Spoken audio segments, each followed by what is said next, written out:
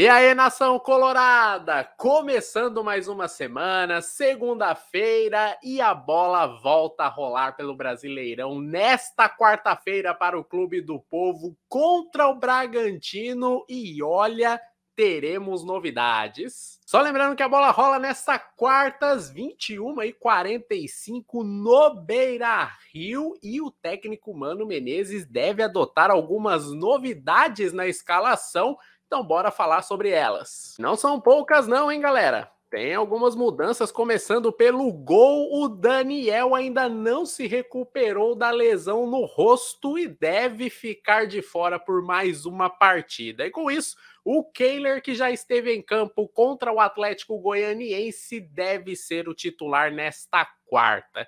Além disso, na lateral direita, o Inter tem o desfalque do Bustos, que acabou recebendo o terceiro amarelo contra os goianos, ficou suspenso.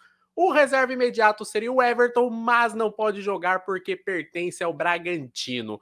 Com isso, o principal nome para jogar na função é o zagueiro Igor Gomes. Vale lembrar que ele ainda não estreou pelo Colorado, hein? Já poderia estrear já atuando ali na lateral direita. E ainda podemos ter uma mudança no ataque. Pois é, o Wanderson ele está recuperado de uma lesão e já está disponível para retornar. Porém, a tendência é de que o Pedro Henrique receba aí uma continuidade no time titular, ele que simplesmente fez os dois gols da vitória contra o Atlético Goianiense na última rodada. Inclusive, nós temos o esboço aqui do provável time titular. Lembrando, provável time titular. Hoje ainda é segunda, a bola rola na quarta. Podem rolar aí alterações e, é claro, vocês serão informados aqui no nosso portal. Mas bora dar uma olhada então na provável escalação?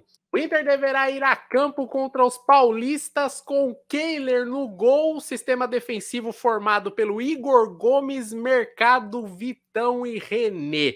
Aí nós teríamos Gabriel, Edenilson, Carlos de Pena ou Maurício e Alan Patrick. E na frente, Pedro Henrique e Alemão. Essa provável escalação para o duelo contra o Bragantino. Mas você tá ligado, né? Tá ligado que qualquer informação, qualquer novidade você saberá no nosso canal, no nosso site, nas redes sociais. Então não deixe de acompanhar o Portal do Colorado. E se ainda não é inscrito no nosso canal, se inscreva clicando no botão vermelho aqui embaixo. Clica aqui, se inscreva no Portal do Colorado. E é claro, não sai desse vídeo sem deixar aquele like, hein? Não custa nada, é rapidinho, mas ajuda muito o nosso trabalho por aqui.